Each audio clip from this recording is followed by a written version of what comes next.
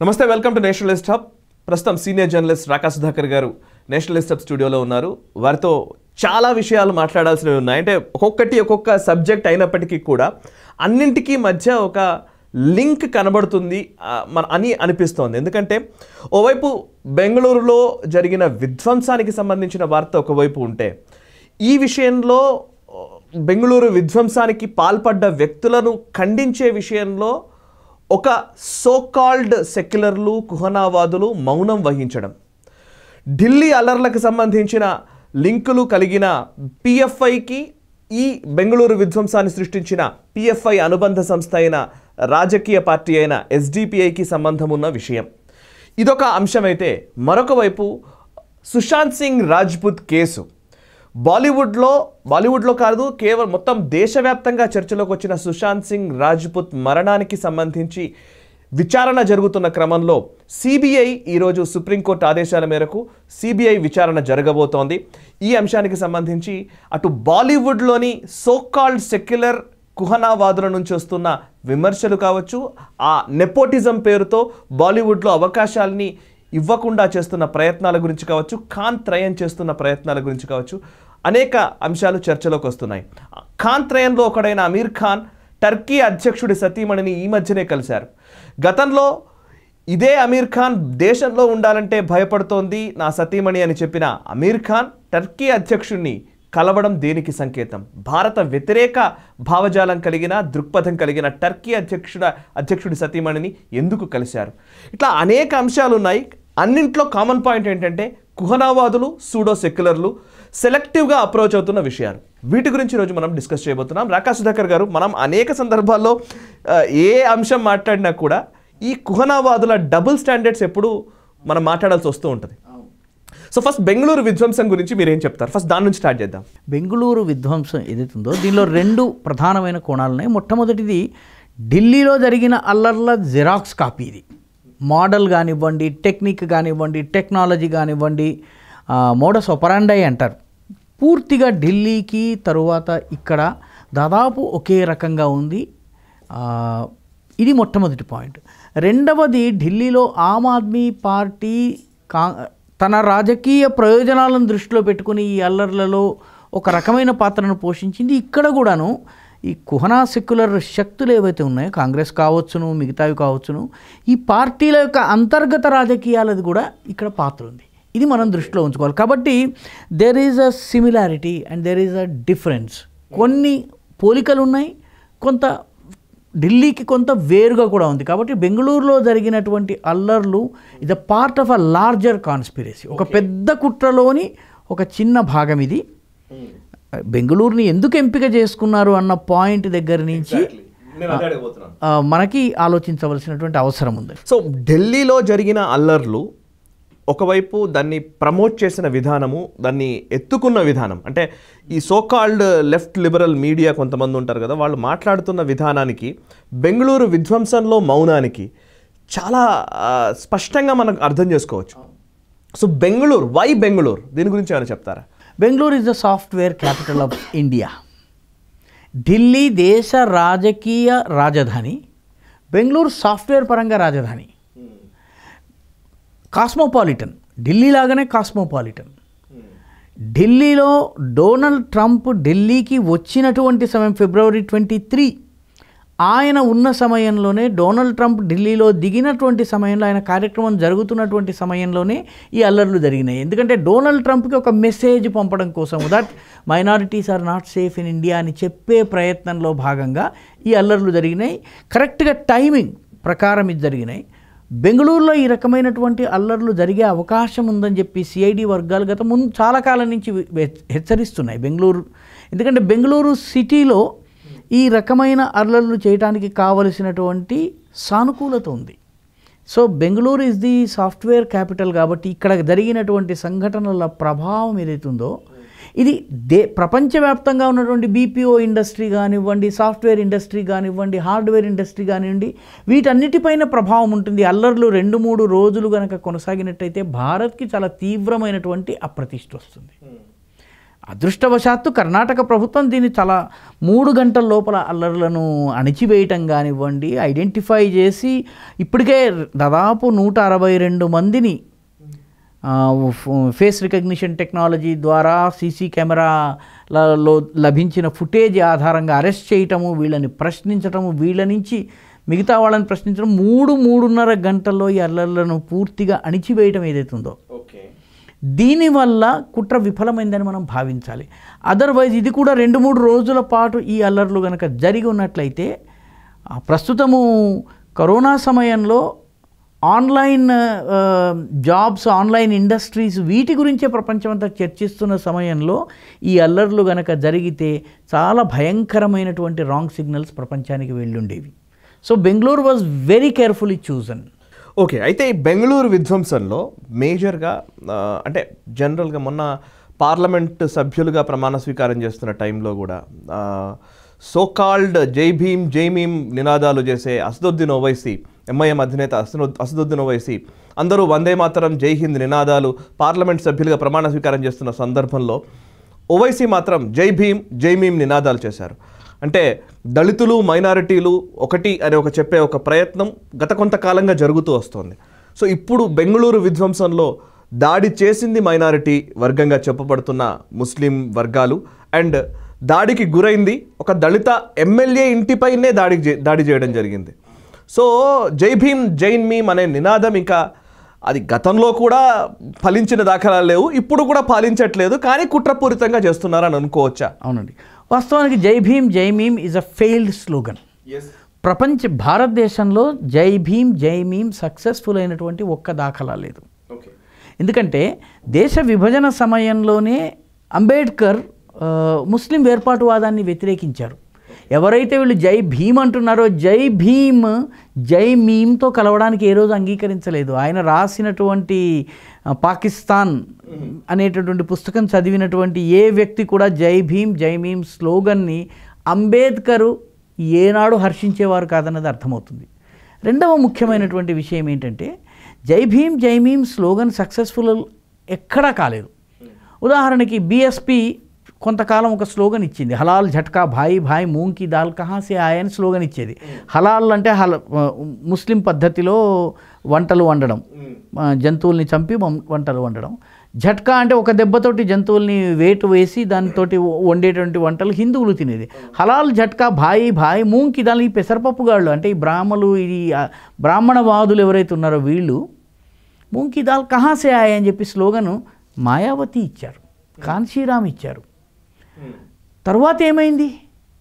తరువాత కాలంలో అక్కడ ఉన్నటువంటి జాటౌస్ వాల్మీకిస్తో సహా ఈ జై భీమ్ జై మీమ్ యొక్క ఈక్వివలెంట్ స్లోగన్ని ఉత్తరప్రదేశ్లో తిరస్కరించారు. ఓకే.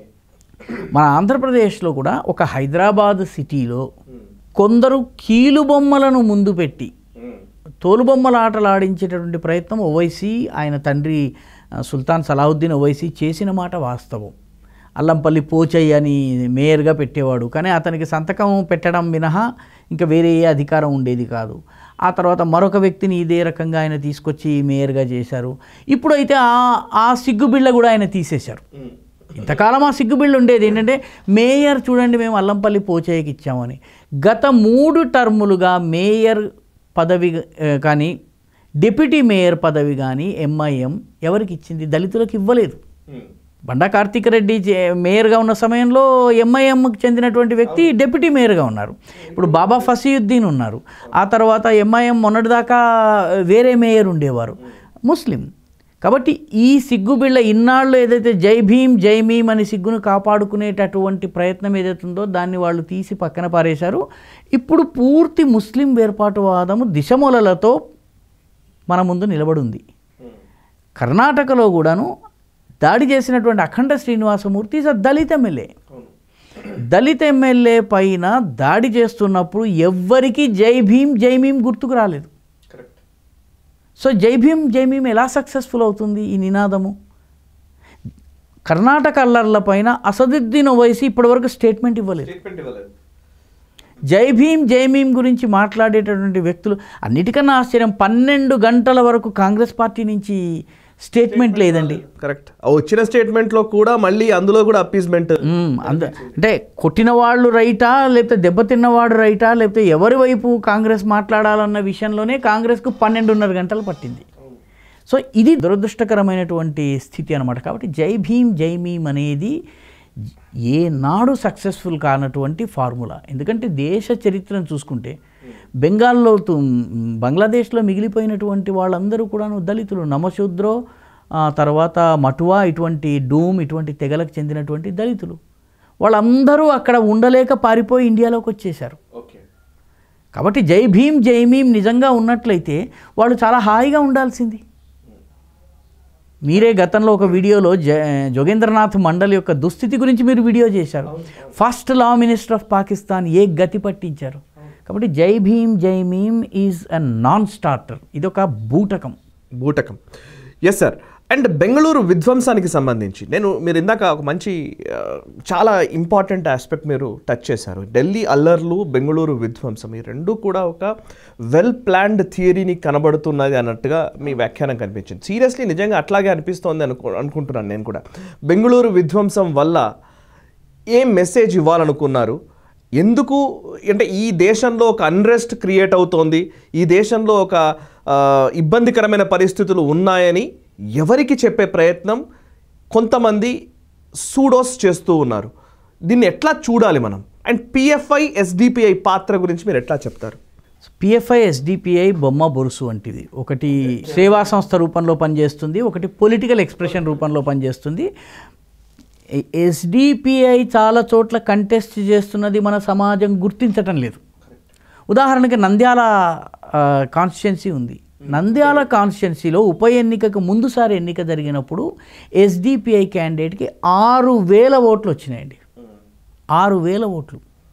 సిక్స్ థౌజండ్ ఓట్స్ నంద్యాలలో ఎస్డిపిఐకి వచ్చిన ఇండిపెండెంట్గా చూపిస్తారు. ఎందుకంటే ఎస్డిపిఐ ఇప్పటికీ గుర్తింపు పొందిన పార్టీ కాకపోవడం వల్ల ఇండిపెండెంట్గా తన అభ్యర్థి పోటీ చేశాడు. ఆరు వేల ఓట్లు సంపాదించాడు. దీన్ని బట్టి మీరు అర్థం చేసుకోవాలి.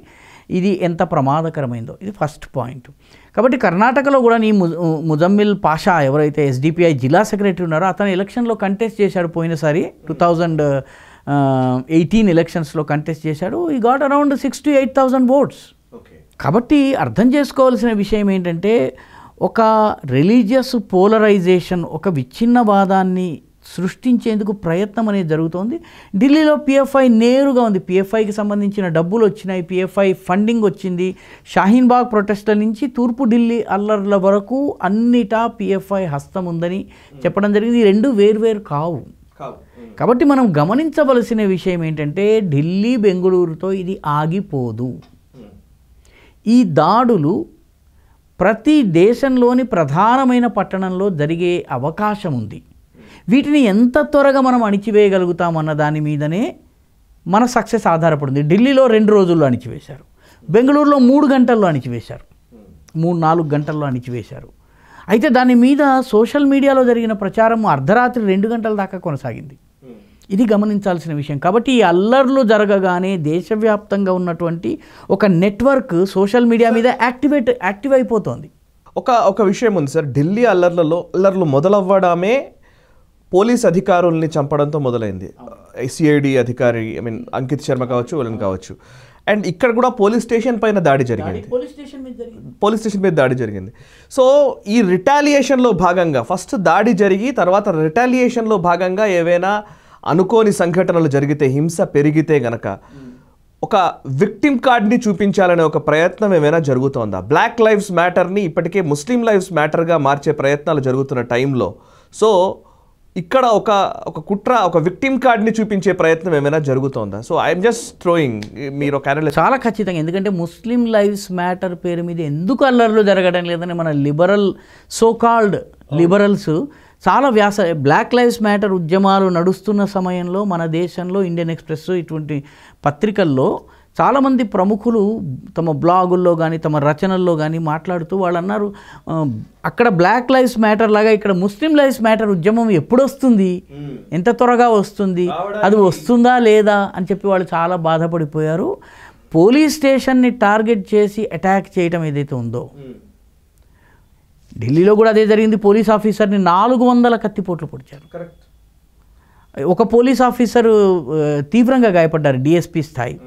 సో అక్కడ కూడా attack was on the police first attacks were not on the opposite community they were on the police పోలీసుల మీద తుపాకీ తీసుకుని షారుఖ్ అనేటువంటి యువకుడు పరిగెత్తుకొచ్చినటువంటి విజువల్ మీకు గుర్తుండి ఉంటుంది. అవును పోలీసుకి కణత దగ్గర తుపాకీ పెట్టిన పోలీసుని టార్గెట్ చేయాలి అన్నది ఇదొక వెల్ ప్లాన్డ్ కాన్స్పిరసీ ఎందుకంటే దీనిని పోలీసు అత్యాచారాల కింద చూపించేటువంటి ప్రయత్నం జరుగుతుంది. కర్ణాటకలో కూడా అదే. రెండు పోలీస్ స్టేషన్లను తగలబెట్టారు. పోలీస్ కనుక రిటాలియేట్ చేసి ఉన్నట్టు చేసి ఉన్నట్లయితే పోలీస్ అట్రాసిటీస్గా చూపించేటువంటి పరిస్థితి. ఇప్పటికి కూడా చేశారు. ముగ్గురు కూడాను కాల్పుల్లో చనిపోయినటువంటి వాళ్ళే. కాంగ్రెస్ నాయకులు. అమాయకులని వాళ్ళకి కంపెన్సేషన్ కూడా ఇవ్వరు. కాంగ్రెస్ ఈ ఆటలో ఆటలో అరటిపండండి. కాంగ్రెస్ కేవలం ఏవో గుప్పెడు ఓట్ల కోసము నేల నాకటానికి సిద్ధమవుతున్నది కానీ వాస్తవంగా ఇక్కడ కాన్స్పిరసీ ఏంటంటే పోలీసు వ్యవస్థని బద్నాం చేయటం దానిని అప్రతిష్ట పాలు చేయటము పోలీసు ఉద్యోగుల యొక్క మనోబలాన్ని దెబ్బతీయటం. అంటే తద్వారా పోలీసులు అంటే తద్వారా స్టేట్. తద్వారా ప్రభుత్వము తద్వారా ఆ, ప్రభుత్వానికి ఓటు వేసినటువంటి ప్రజలు. ఇది ఒక ప్లాన్లో భాగంగా పోలీసుల మీద దాడి జరుగుతుంది మీకు గుర్తుందో లేదో. పదిహేను నిమిషాలు పోలీసుల్ని పక్కకు పెట్టి చూపించండి. ఈ పదిహేను ఇరవై కోట్ల మంది ముస్లిములు వంద కోట్ల మంది హిందువులు ఏం చేస్తారో మీరు చూసుకోండి అని మన హైదరాబాద్కే చెందినటువంటి ఒక ప్రబుద్ధుడు మాట్లాడిన విషయం మీకు గుర్తుంటుంది. పోలీసులు ఈ పదం గుర్తుంచుకోండి. పోలీసుల్ని పక్కన పెట్టండి. ఎందుకంటే ఈరోజు ఒక రయట్ స్ప్రెడ్ కాకుండా ఆపుతున్నటువంటి శక్తి పోలీసు. తన ప్రాణాలని పణంగా పెట్టి ముందు నిలబడి రాళ్ళ దాడిని ఎదుర్కొని లేకపోతే పెట్రోల్ బాంబుల్ని ఎదుర్కొని నిలబడుతున్నటువంటి పోలీసును టార్గెట్ చేయటం జరుగుతుంది. అంటే మూడు నాలుగు సంవత్సరాల క్రితము అక్బరుద్దీన్ ఓవైసీ చేసినటువంటి ప్రకటనకు ఢిల్లీలో అంకిత్ శర్మ హత్యకు ఇక్కడ కర్ణాటకలో రెండు పోలీస్ స్టేషన్ల మీద జరిగిన దాడికి ఒక ఏకసూత్రత ఉంది. There is a connecting link మరొక వైపు అమెరికాలో జార్జ్ ఫ్లాయిడ్. జార్జ్ ఫ్లాయిడ్ మూమెంట్ని సృష్టించే ప్రయత్నం చేశారు. అదృష్టవశాత్ ఇది విఫలమైంది. ఇది విఫలమైంది. మూడు గంటలు నాలుగు గంటల లోపల అల్లర్లను నియంత్రించటము నూట అరవై రెండు మందికి సీసీటీవీ ఫుటేజ్ ఆధారంగా అరెస్ట్ చేయటము దీనికి కీలక పాత్రుడైనటువంటి ముజమ్మిల్ పాషాను ఆ తర్వాత కార్పొరేటర్ ఇర్షాద్ బేగం హస్బెండ్ అయినటువంటి కలీం పాషాను అరెస్ట్ చేశారు. ఈరోజు అల్ హింద్ అనేటటువంటి ఒక అతివాద సంస్థకు చెందినటువంటి సమీయుద్దీన్ అరెస్ట్ చేశారు. ఈ సమీయుద్దీన్ గతంలో ఆర్ఎస్ఎస్ కార్యకర్త రుద్రేష్ హత్యలో నిందితుడితను. అతన్ని అరెస్ట్ చేశారు. అదేవిధంగా అతని వెనక ఉన్నటువంటి మిగతా మిగతా వాళ్ళందరూ అరెస్ట్ అయిపోయేటప్పటికి ఇప్పుడు అసలు కథ బయటపడింది. ఒక రకంగా కర్ణాటక పోలీసులు దీనిని చాలా వేగవంతంగా అదుపులో చేశారు. ఫస్ట్ థింగ్ రెండవది కర్ణాటక ప్రభుత్వం కూడా చాలా దృఢంగా అల్లర్లకు విధ్వంసానికి పాల్పడ్డ వాళ్ళ దగ్గర నుంచి వసూలు చేయదలుచుకుంది నష్టపరిహారాన్ని. అది ఉత్తరప్రదేశ్ తరహాలో. దేశవ్యాప్తంగా ఇది జరిగినట్లయితే ఆర్సన్ అల్లరి మూకల దాడులు ఆగిపోతాయి. ఎందుకంటే వాడు ఈరోజు అరెస్ట్ దాడి చేసిన తర్వాత మీరు ఫ్లాయిడ్ కేసులో కూడా మీరు చూడండి. వాళ్ళు నల్లవాడి హక్కుల కోసము పోరాడినదెంత? ఫ్రిడ్జులు లేకపోతేను మైక్రోవేవ్ ఓవెన్లు ఎత్తుకుపోయింది ఎంత ఐదు నిమిషాల్లో వాడు బా ఒక నైకీ షూ మొత్తం షోరూమ్ని ఖాళీ చేశారు. వాడి కాళ్ళు కాళ్ళ సైజ్ సరిపోతుంది? ఎందుకంటే చెల్లుతుంది అన్నప్పుడు ఈ రకమైన ధోరణి ఉంటుంది. ప్రతి వాడిని పట్టుకుని మీరు వసూలు చేయటం ప్రారంభిస్తే అల్లరి లాగిపోతాయి. కాబట్టి కర్ణాటకలో పోలీసుల్ని టార్గెట్ చేయటం వెనుక ఉన్నటువంటి రాజకీయం ఇది. సో పోలీసుల్ని వీళ్ళు రానున్నటువంటి అల్లర్లలో కూడాను పోలీసుల్ని టార్గెట్ చేసే ప్రయత్నం జరుగుతుంది. ఓకే. అండ్ మరొక వైపు సార్ అమీర్ ఖాన్. ఇప్పటికే సుశాంత్ సింగ్ రాజ్పుత్ కేసులో ఇప్పటికే చాలా ఆరోపణలు బాలీవుడ్ పైన వస్తున్నాయి. బాలీవుడ్లోని కొంతమంది పైన. ముఖ్యంగా మహేష్ భట్ లాంటి వాళ్ళు కావచ్చు అటు రియా చక్రవర్తి కావచ్చు ఇంకోవైపు కరణ్ జోహర్ లాంటి వాళ్ళు కావచ్చు ఖాన్ త్రయం ఉండనే ఉంది. ఈ ఖాన్ త్రయానికి సంబంధించి. గతంలో అమీర్ ఖాన్ ఇదే అమీర్ ఖాన్ గతంలో మోదీ అధికారంలోకి వచ్చిన తర్వాత అసహనవాదులకు మద్దతుగా నిలిచిన సందర్భము. తన సతీమణి ఈ దేశంలో ఉండాలంటే భయపడుతోంది అని చెప్పిన వ్యక్తి అదే వ్యక్తి టర్కీ అధ్యక్షుడి సతీమణిని కలవడము అండ్ కిరణ్ అదే తన అమీర్ ఖాన్ సతీమణి కిరణ్ రావు చాలా ఆనందంగా ఉంది. ఇక్కడ ఎంతో అద్భుతంగా టర్కీలో గడిపింది అని చెప్పి వ్యాఖ్యానించడం. సో ఇవన్నీ ఏంటి? ఇంత డబుల్ స్టాండర్డ్స్ ఇంత దిగజారుడు తనానికి బాలీవుడ్ ఎందుకు చేరుకుంది అనిపిస్తోంది? మీ అభిప్రాయం చెప్తారు? అంటే బేసిక్గా బాలీవుడ్ మార్కెట్కి టాలీవుడ్ మార్కెట్కి తేడా ఉంది. మన టాలీవుడ్ కానీ ఇవి కానీ మనం ఎసెన్షియలీ తెలుగు ఆడియన్స్ దగ్గరికి వెళ్తాం. కానీ బాలీవుడ్ ఏదైతే ఉందో దాని యొక్క మేజర్ మార్కెట్లలో పాకిస్తాన్ ఒకటి. బాలీవుడ్ యొక్క మేజర్ మార్కెట్ ఏదైతే ఉందో అందులో పాకిస్తాన్ ఆడియన్స్ ముఖ్యంగా పంజాబ్ పాకిస్తాన్ ఏదైతే sixty percent of the population ఉందో పంజాబ్లో సింధులో పాకిస్తానీ ఇండియన్ మూవీస్ చాలా బాగా ఆడతాయి. సో పాకిస్తానీ ఆడియన్స్ని దృష్టిలో పెట్టుకుని వాళ్ళను బుజ్జగించే ప్రయత్నాల్లో భాగంగా వాళ్ళని ఒప్పించే ప్రయత్నాల్లో భాగంగా మన హిందీ మూవీస్లో మొదటి నుంచి కూడాను ఒక soft corner towards Pakistan. Soft corner towards Pakistan కనిపించేటటువంటి సంఘటనలు మీకు కథలు మీకు కనిపిస్తాయి. గదర్ సినిమా వచ్చింది. గదర్ పాకిస్తాన్లో ఆడలేదు. అమీర్ ఖాన్ నటించినటువంటి సర్ఫరోష్ నటి వచ్చింది. పాకిస్తాన్లో దాన్ని ప్రవేశింపనేలేదు. బజరంగి బా భాయిజాన్. బజరంగి భాయిజాన్ని పాకిస్తాన్లో ప్రదర్శించలేదు. సో వీళ్ళకి ఎప్పుడైతే పాకిస్తాన్లో తమ సినిమా నడవదో అప్పుడు వీళ్ళకి కాళ్ళు వణుకుతాయి. బాలీవుడ్లో ప్రొడ్యూసర్స్ ఎందుకంటే Pakistan is one of their biggest market మన పాకిస్తాన్ అనేక సార్లు మన సినిమాల్ని బ్యాన్ చేస్తే మన పైరేటెడ్ సిడీల్స్ తోటి ఇళ్ళలో సినిమాలు చూసుకుంటుంటారు. వాళ్ళకి వాళ్ళ లాలీవుడ్ అంటారు లాహోర్ కేంద్రంగా ఉన్నటువంటి సినిమా ఇండస్ట్రీ ఇది. చాలా సబ్స్టాండర్డ్ ఫిల్మ్ ఇండస్ట్రీ. ఈ రోజు కూడాను వాళ్ళు సినిమా చూడాలన్నట్లయితే బాలీవుడ్ ఫిల్మ్సే. వాళ్ళ ఇళ్ళలో దీపికా పాదుకోన్ లేకపోతే రణబీర్ సింగ్ ఇటువంటి వాళ్ళ పేర్లు నిత్యము మాట్లాడుకుంటుంటారు. కాబట్టి ఈ మార్కెట్ ఒకటి నిర్దేశిస్తుంది. గల్ఫ్లో ఉన్నటువంటి మార్కెట్. గల్ఫ్ దేశాలలో డెవలప్ అవుతున్నటువంటి మార్కెట్ కూడా బాలీవుడ్ కంటెంట్ని నిర్దేశిస్తుంది. మనం అందరం బాలీవుడ్ విషయమే మాట్లాడుతున్నాము. ఓటీటీలో వస్తున్న కంటెంట్ని మనం ఎప్పుడన్నా అధ్యయనం చేశామా? ఓటీటీలో వస్తున్నటువంటి కంటెంట్లో మీకు anti Indian sentiment anti government sentiment ఒక వర్గాన్ని విలన్లుగా చూపేటటువంటి ప్రయత్నము ఎంత పెద్ద ఎత్తున జరుగుతోంది. ఒక సైఫ్ అలీ ఖాన్ నటించినటువంటి ఒక సిరీస్ సిరీస్ సీక్రెట్ గేమ్స్ అనుకుంటాను. They they target a specific community. They target a specific political thought so ఇది it is because of the market and the funding they receive బాలీవుడ్లో రెండు అన్హెల్దీ ట్రెండ్స్ ఉన్నాయి ఒకటి మాఫియా మనీ సినిమాల్లో ప్రవేశిస్తోంది సినిమాలోని పెట్టుబడులను అది ప్రభావితం చేస్తోంది సినిమాలో ఎవరు హీరోగా ఉండాలి ఎవరు హీరోయిన్గా ఉండాలి అన్నది అది నిర్ధారిస్తోంది ముగ్గురు ఖాన్లలో ఒక ఖాన్ మొదట్లో అన్ని ఫెయిల్యూర్లు ఇచ్చారు ఇచ్చిన తరువాత పదే పదే మాఫియా నుంచి ఇతన్నే హీరోగా తీసుకోవాలన్నటువంటి ఫోన్ కాల్స్ వచ్చేవి.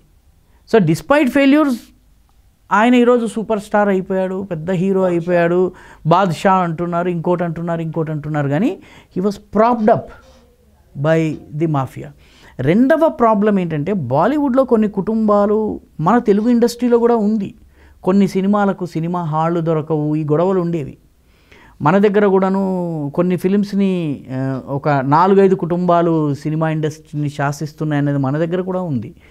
అయితే బాలీవుడ్లో సినిమా కొన్ని కుటుంబాలు సినిమా రంగాన్ని శాసించడంతో పాటు కాస్టింగ్ సంస్థలు ఉన్నాయండి.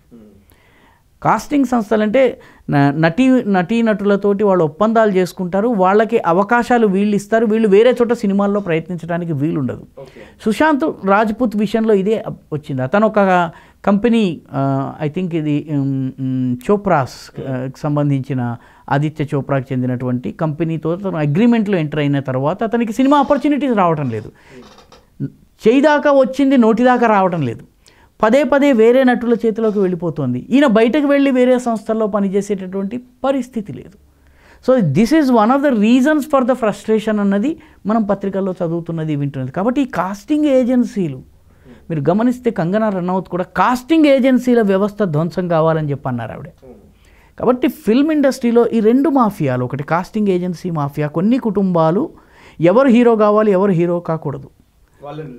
వాళ్ళు నిర్ధారిస్తున్నారు. కంగనా రనౌత్ ఇంటర్వ్యూ రిపబ్లిక్ టీవీకి ఇచ్చిన ఇంటర్వ్యూలో చాలా ఆసక్తికరమైన ఒక విషయం చెప్పింది.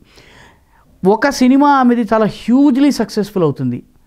అయిన వెను వెంటనే ఆమె మాజీ ప్రియుడి చేత ఆమె మీద కేసు వేయించారు. కేసు ఎందుకు వేయించారంటే కేసు ఉన్నటువంటి నటి దగ్గర అడ్వర్టైజ్మెంట్ కాంట్రాక్టులు రావు. ఎండార్స్మెంట్ కాంట్రాక్టులు రావు. సో ఈమెకు ఆరేడు కాంట్రాక్టులు చేయదాకా వచ్చి వ్యాపార కాంట్రాక్టులు ఆగిపోయినాయి. సో ఈ ఈ రకంగా ఆమెని రకరకాల కాంట్రవర్సీస్లో ఏ రకంగా ఇరికించారు? ఆమె చాలా వివిడ్గా వివరించింది ఆ ఇంటర్వ్యూలో నిజంగా ఆ ఇంటర్వ్యూ అధ్యయనం చేస్తే మనకి బాలీవుడ్లో ఏం జరుగుతుందో అర్థమవుతుంది. Casting agencies they can make and unmake people and mafia money is deciding who has to be the hero and what has to be the content cinema content ఏం ఉండాలి అన్నది వీళ్ళు డిసైడ్ చేస్తున్నారు. మీకు దేశభక్తి పూరితమైన ఒక సినిమా తీయాలి అంటే ఈరోజు ఇబ్బందులు వస్తున్నాయి. మీకు ఒక ఉడి లాంటి సినిమా తీసిన తర్వాత అటువంటి రెండో సినిమా ఎందుకు రాలేదు? సో మీకు ఓటీటీ ప్లాట్ఫామ్స్లో వాళ్ళు చూపిస్తున్నటువంటి కంటెంట్ కులం పేరిట కానివ్వండి లేకపోతే మతం పేరిట కానివ్వండి వాళ్ళు పెడల్ చేస్తున్నటువంటి కంటెంట్ని మీరు జాగ్రత్తగా పరిశీలించినట్లయితే ఒకటి ఫ్యామిలీ మ్యాన్ అని ఒక సిరీస్ ఉందండి. అందులో ఇంటెలిజెన్స్లో పనిచేయటం చాలా తప్పు. దేశానికి అసలు ఇంటెలిజెన్స్ వాళ్ళ మీద ఎటువంటి కృతజ్ఞత ఉండదు.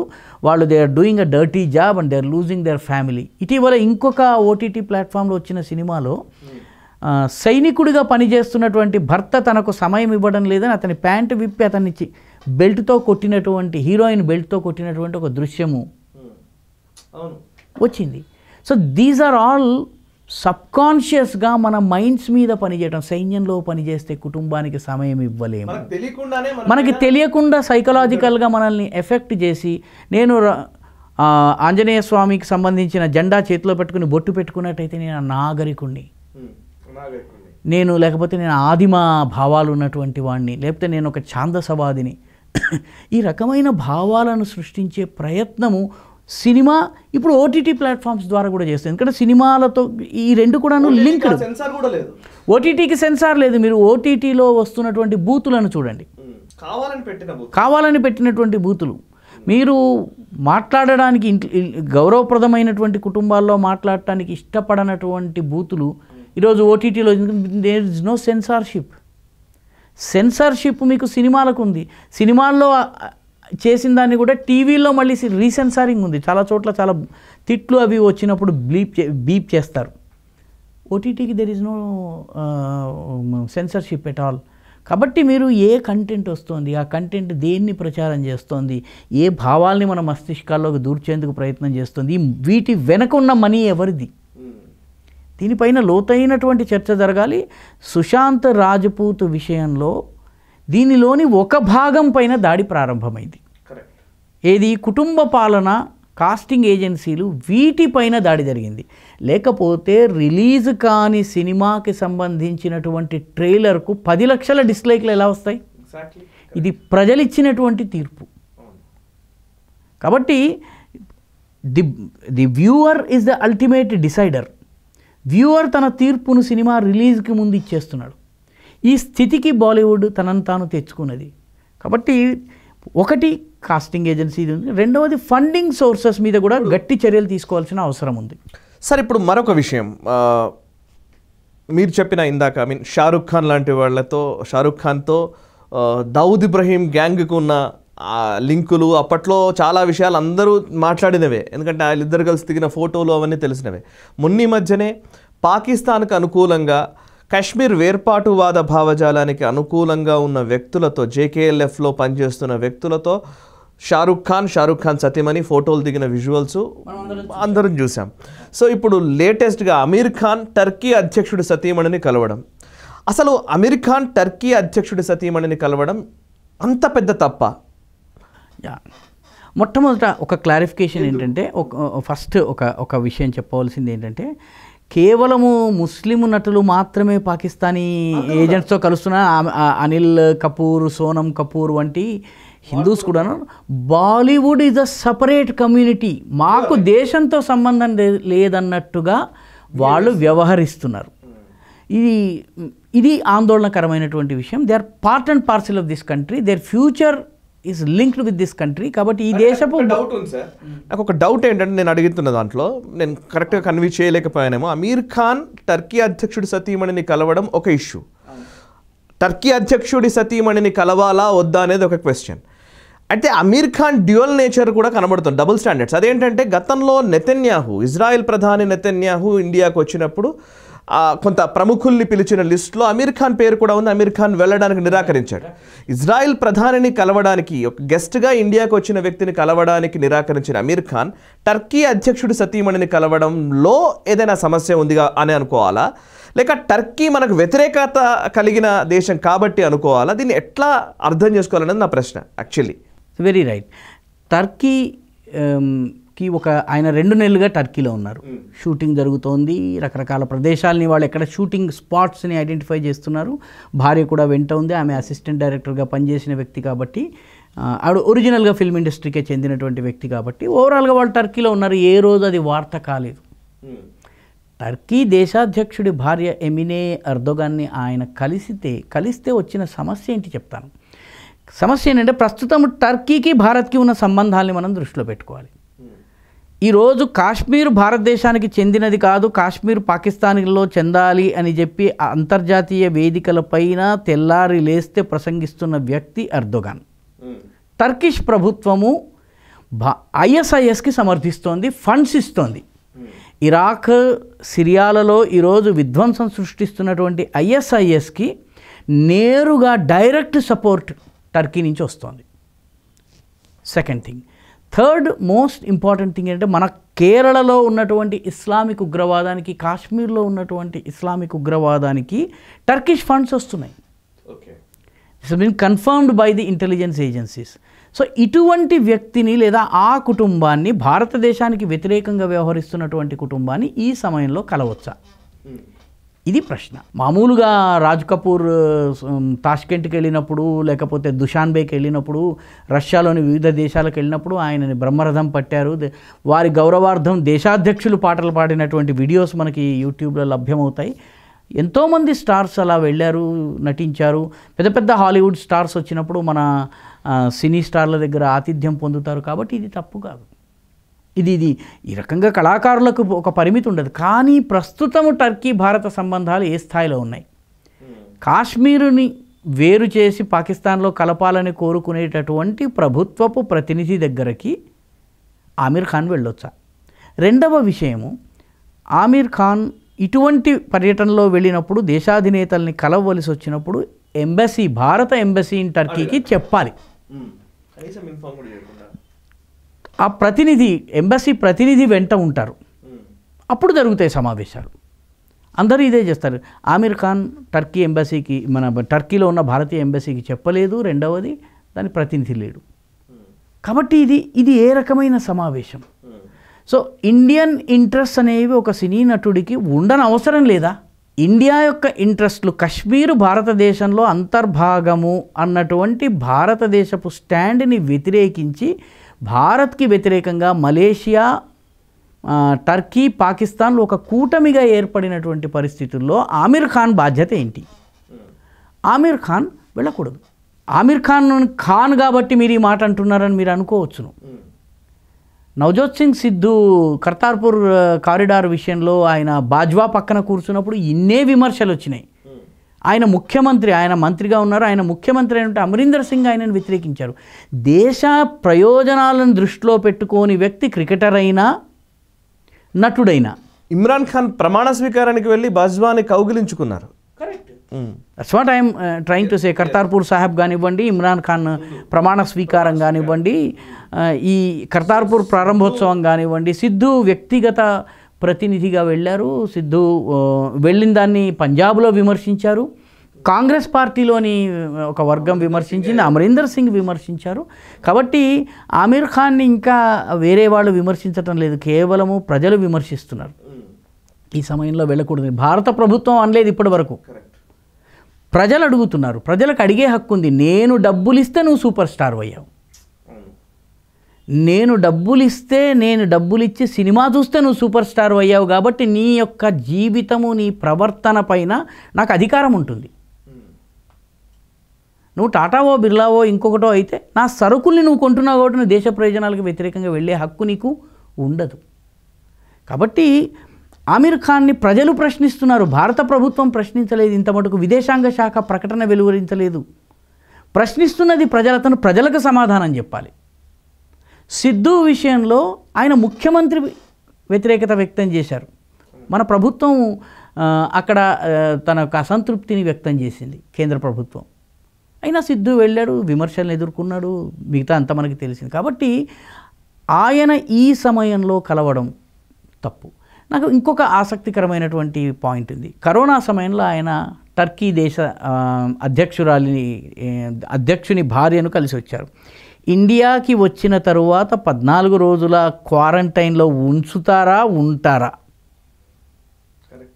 మీకు నాకు క్వారంటైన్లు మో- అది ముంజేయి మీద ముద్రలు పడుతున్నప్పుడు ఆమీర్ ఖాన్కి పడతాయా పడవా? చూడాల్సిన అవసరం ఉంది. పద్నాలుగు రోజుల క్వారంటైన్లో ఉండి తీరాలి అతను. ఒకసారి అంటే ఈ రకంగా బయటకు వెళ్ళి వచ్చినటువంటి ప్రతి వ్యక్తికి ఏదైతే నియమాలు ఉన్నాయో ఆమీర్ ఖాన్కు కూడా వర్తించాల్సినటువంటి అవసరం ఉందండి. సరే ఓవరాల్గా ఇప్పుడు మొత్తం కనెక్టింగ్ ద డాట్స్ అంటే ఒకవైపు ఏమో కొన్ కొన్ని సంఘటనల విషయంలో స్పందిస్తారు కొన్ని సంఘటనల విషయంలో స్పందించారు. కొన్ని విషయాల్లో మాత్రం ఒకలాగా వ్యవహరిస్తారు కొందరు విషయాల్లో మాత్రం ఒకలాగా వ్యవహరిస్తారు. So double standards and selective approach ఈ రెండు అంశాలకు సంబంధించి ఇంకొక పాయింట్ నేను కంక్లూడ్ చేసి లైక్ బెంగళూరులోనే అదే గౌరీ లంకేష్ అనే ఒక వ్యక్తి హత్య చేయబడ్డప్పుడు ఆమె అనేక సందర్భాల్లో హిందూ సంప్రదాయాల్ని హిందూ సంస్కృతిని తూలనాడుతూనే తన రచనలన్నీ చేసింది వ్యాసాలన్నీ రాసింది. సో యాంటీ హిందూ చాలా స్పష్టంగా చెప్పాలి అంటే అదే గౌరీ లంకేష్ చనిపోతే మాత్రం అందరూ ట్వీట్లు చేస్తారు అదో పెద్ద ఇష్యూగా మలుస్తారు. రోహిత్ వేముల అనే వ్యక్తి సూసైడ్ నోట్ రాసి నేను నా ఆయన ఆయన ఏదో వేరే కార్యక్రమ కారణంతో చనిపోతే పూర్తిగా ప్రధానికి లింక్ అయిపోతుంది. ఇమీడియట్లీ అటు అఖలాక్ మరణిస్తే డైరెక్ట్గా ప్రధాని రాజీనామా చేయాలంటారు. సో అక్కడక్కడ జరిగే చిన్న చిన్న సంఘటనలకు సంబంధించి రెస్పాండ్ అయ్యే వ్యక్తులు సుశాంత్ సింగ్ రాజ్పూత్ విషయంలో మాత్రం మీడియా ట్రయల్ చేస్తుంది అని అంటారు. సో మీడియా హౌజెస్లోనే విచారణ చేస్తారా అని అదే వ్యక్తులు విమర్శిస్తున్నారు. ఇదే Rajdeep Sardesai. I'm clearly stating Rajdeep Sardesai Gauri Lankesh విషయంలో ఏం మాట్లాడాడు? సుశాంత్ సింగ్ రాజ్పూత్ చనిపోయినప్పుడు ఏం మాట్లాడుతున్నారు? తెలుసు. సో ఈ వీళ్ళ విషయంలో ప్రజలు ఎట్లా ఉన్నారు? అంటే వీళ్ళ గమనిస్తున్నారు కానీ చెప్పేవాళ్ళు చాలా తక్కువ మంది ఉన్నారు. రీడ్ బిట్వీన్ ద లైన్స్ చాలా తక్కువ మంది చేస్తున్నారు. So as a senior journalist what is your opinion and what your conclusion వీళ్ళని సమాజం రిజెక్ట్ చేసిందండి. పూర్తిగా they are all rejected now ఈరోజు వీళ్ళ మార్క్ రెండు నాలుకల ధోరణి ఏదైతుందో దాన్ని సమాజం పూర్తిగా రిజెక్ట్ చేసింది. ఉదాహరణకి రవీష్ కుమార్ సుప్రసిద్ధ హిందీ జర్నలిస్టు. ఆయన పెహ్లూ ఖాన్ అనేటటువంటి కౌ స్మగ్లర్ మీద ఒక మూక దాడి చేస్తే ఏ హిందూ హిందువులు ముస్లిం పైన చేసిన దాడిగా ఆయన అభివర్ణించారు. హిందువులను చాలా స్పష్టంగా చెప్పాడు కూడా. బెంగళూరులో జరిగిన అల్లరి విషయంలో హిందూ ఇది ముస్లింలన్న పదం ఆయన వాడటానికి ఇష్టపడలేదు దాడికి మతానికి సంబంధం లేదంటున్నారు. అంటే ఇది రెండు నాలుకల ధోరణి. ఈ రకమైన ధోరణి బర్ఖాదత్ కూడా. హిందువుల దగ్గర ఆస్తులు ఎక్కువగా ఉన్నాయి కాబట్టి పేద ముస్లిములు వాళ్ళని కాశ్మీర్ నుంచి తరిమేశారని పండితుల గురించి ఆయన ఆమె చాలా చెప్పారు వీడియోలో. ఇప్పుడు అడిగితే ఎప్పుడైతే ప్రజలు ఆమెను ప్రశ్నించడం ప్రారంభించారో కాశ్మీరీ హిందూ పండితులు ప్రారంభించారో నేను అప్పుడు చిన్న రిపోర్టర్ని నాకు విషయాలు తెలియవు అందుకని అలా అన్నానని చెప్పి సంజయ్ ఇస్తుంది ఈ వర్గం ఏదైతే ఉందో మొన్న మరొక ఢిల్లీ అల్లర్ల సమయంలో పోలీసుల పైన దాడికి పోలీసులకు రిటాలియేట్ చేస్తున్న ఇద్దరిని షీరోస్ అని చెప్పి ఇంటర్వ్యూ చేసి చ- అది చాలా ఘోరం ఎందుకంటే ఇంకా గ్లోరిఫై చేయడం. అన్నిటికన్నా ఘోరమైన విషయం ఏంటంటే షీరోజ్ అని ఏ ఇద్దరు జామియా మిల్లియా ఇస్లామియా యువతుల గురించి ఆమె చెప్పిందో వాళ్ళ ట్విట్టర్ అకౌంట్ను ఒకసారి వెనక్కి వెళ్ళి చూస్తుంటే ఆమె ఈ మాట అని ఉండేది కాదు. ఎందుకంటే వాళ్ళు యాహూబ్ మెమన్ని ఉరితీయడం తప్పన్నారు. దావుద్ ఇబ్రాహీం పైన ఇది చేయడం తప్పన్నారు. అఫ్జల్ గురువుని ఉరితీయడం తప్పన్నారు. వాళ్ళు మొట్టమొదటి నుంచి కూడా వేర్పాటువాదము విచ్ఛిన్నతవాదము మతతత్వవాదానికి వాళ్ళు ఇద్దరికిద్దరూ ప్రతీకలుగా వ్యవహరిస్తున్నారు. అంటే ఈమె కేవలము వాళ్ళని ఆ విషయాన్ని బయటపెట్టిన తర్వాత ఆమె ఇచ్చినటువంటి స్టేట్మెంట్ ఇంకా విచిత్రంగా ఉంది. వీళ్ళ యొక్క గతంతో సంబంధం లేదు. ఈరోజు వాళ్ళు నిలబడ్డటువంటి పద్ధతిని చూసి మనం వాళ్ళని షీరోలు అనాలి అని చెప్పేసి ఆమె సంజాయిషి ఇచ్చారు. కాబట్టి ఈ రకమైనటువంటి రెండు నాలుకల ధోరణిని అవలంబిస్తున్నటువంటి వాళ్ళు వీళ్ళను సమాజం రిజెక్ట్ చేసింది. ఈరోజు వాళ్ళ మాట ఎవరు వినడం లేదు. వాళ్ళ మాటకు క్రెడిబిలిటీ కూడా పోయింది. తమాష ఏంటంటే అఖ్లాక్ ఇన్సిడెంట్ జరిగినటువంటి ఉత్తరప్రదేశ్లో అప్పటికి ప్రభుత్వం అఖిలేష్ యాదవ్ది. గౌరీ లంకేష్ ఇన్సిడెంట్ జరిగినటువంటి కర్ణాటకలో అప్పటి ప్రభుత్వం సిద్ధరామయ్యది. ఆ తరువాత ఆంధ్రప్రదేశ్లో రోహిత్ వేములది జరిగినప్పుడు అక్కడ ప్రభు కేసీఆర్ ప్రభుత్వము. రాష్ట్ర ప్రభుత్వాల పరిధిలోకి లా అండ్ ఆర్డర్ వస్తుంది. హౌ ఇస్ మోడీ కనెక్టెడ్ ఈ మూడిట్లో మోడీని లింకప్ చేయడానికి ఏ రకంగా ఇదే గనక కర్ణాటక అల్లర్లు రెండు రోజులు మూడు రోజులు అయి ఉంటే దీన్ని ఖచ్చితంగా కరోనా వ్యాధి గ్రస్తుడైపై ఐసీయూలో ఉన్నటువంటి అమిత్ షాకి మోదీకి దీన్ని లింకప్ చేయడానికి ప్రయత్నం జరిగింది. కాబట్టి లిబరల్స్ యొక్క లిబరల్స్ అని చెప్పుకుంటున్న వాళ్ళ యొక్క రెండు నాలుకల ధోరణిని ప్రజలు గుర్తిస్తున్నారు. ప్రజలు వాళ్ళని పట్టించుకోవడం లేదు. మీరు సుశాంత్ రాజ్పుత్ లాయర్ విక్రమ్ సింగ్ అనుకుంటా అతని పేరు. అతనితో రాజ్దీప్ సర్దేశాయ్ ఇంటర్వ్యూ మీరు కనుక చూసుంటే మీకు తెలిసేది. అది అందులో ఇంటర్వ్యూ ప్రారంభిస్తున్న ఈ ట్రయల్ బై మీడియా ఎందుకు చేస్తున్నారు మీరు అని చెప్పి అతను ప్రశ్నిస్తాడు రాజ్దీప్. మీరు నన్ను ఆహ్వానించి పిలిచి బ్రతిమలాడి నన్ను తీసుకొచ్చి ఇక్కడ కూర్చోబెట్టి మీడియా ట్రయల్ అని ఎందుకు అంటున్నారని చెప్పి అతను మైక్ తీసేసి వెళ్ళిపోతాడు. ఒక జర్నలిస్ట్కి ఇంతకు మించిన అవమానం లేదు. అట్లాంటి అవమానాలు చాలా ఉన్నారు రాజదీప్. రాజ్దీప్ సర్దేశాయ్ మీరు యూట్యూబ్లో చూస్తే అటువంటివి అనేకం దొరుకుతాయి. కాబట్టి ఈ మార్క్ జర్నలిజం కానివ్వండి ఈ మార్క్ లిబరలిజం కానివ్వండి ఇది కాలం చెల్లిపోయింది. వాళ్ళు వాస్తవాన్ని గుర్తించుకోవాలి. అయోధ్య రామ మందిరం విషయంలో మందిర భూమి పూజ జరుగుతుంటే ఈ దేశం మొత్తం ప్రశాంతంగా ఉంది. సాగరిక ఘోష్కి మాత్రమే కడుపు నొప్పి వచ్చిందండి. బర్ఖాదత్కి మాత్రమే కడుపు నొప్పి వచ్చిందండి. ఇంకొకళ్ళకి ఇద్దరు ముగ్గురికి మాత్రమే కడుపు నొప్పి ఎందుకు వచ్చింది? ముస్లింలు అల్లరి చేయటం లేదు. ముస్లింల వైపు నుంచి ప్రకటనలు లేవు నిరసన లేదు. లేకపోతే వాళ్ళు ఒక మాట మాట్లాడటం లేదు. వా ప్రభుత్వం ఇచ్చిన ఐదు ఎకరాల మాస్క్ని తీసుకుని ఏ రకంగా కట్టుకోవాలన్నటువంటి చర్చల్లో వాళ్ళు ఉన్నారు. వీళ్ళు నలుగురు ఐదుగురికి మాత్రం కడుపు నొప్పి తగ్గలేదు. కాబట్టి ఈ వర్గం ఏదైతే ఉందో వీళ్ళను అటు ముస్లింలు నమ్మరు ఇటు హిందువులు నమ్మరు. భారతదేశ ప్రజానికం కూడా నమ్మేటువంటి పరిస్థితి లేదు. వాళ్ళు they will fall between the two stools ఒక కుర్చీలో కూర్చోవాలి రెండు కుర్చీల్లో సగం సగం అనుకుందాం అంటే కింద పడిపోతారు. కాబట్టి ఇది జరుగుతోంది. ఈ విషయాన్ని వాళ్ళు కూడా గమనించినట్లయితే మంచిదని నా అభిప్రాయం అండి. Right sir thank you very much Rakesh Sudhakar garu. చాలా విషయాలు మాట్లాడాం. చాలా thank you very much sir so చూసారు కదా అది కనెక్టింగ్ ద డాట్స్ ప్రతి అంశానికి సంబంధించి ఈ సూడో సెక్యులర్లు లెఫ్ట్ లిబరల్ మేధావులుగా చెప్పబడుతున్న వాళ్ళు వీళ్ళంతా కూడా సెలెక్టివ్గా మాట్లాడతారు డబుల్ స్టాండర్డ్స్ కలిగి ఉంటారు ఒక విషయంలో ఒకలాగా ఇంకో విషయంలో ఇంకొకలాగా ద్వైదీ భావంతో వ్యవహరిస్తూ ఉంటారు. అండ్ బాలీవుడ్ దగ్గర నుంచి బెంగళూరు అల్లర్ల వరకు ఢిల్లీ విధ్వంసం దగ్గర నుంచి జరుగుతున్న అనేక సందర్భాల్లో అనేక రకమైన చిన్న చిన్న ఇష్యూస్ని ఫ్లేరప్ చేస్తున్న విధానాలు కావచ్చు. అన్నింట్లోనూ కూడా ఈ సోకాల్డ్ ఈ సూడో సెక్యులర్ సూడో ఇంటలెక్చువల్స్ విషయంలో ప్రజలు అప్రమత్తంగా ఉండాలి. ప్రజల్లో చైతన్యం తీసుకొచ్చే విధంగా ఈ అంశాలకు సంబంధించిన వివరాల్ని పది మందికి చేరవేసే ప్రయత్నం చేయండి. Thanks for watching nationalist up it's a news revolution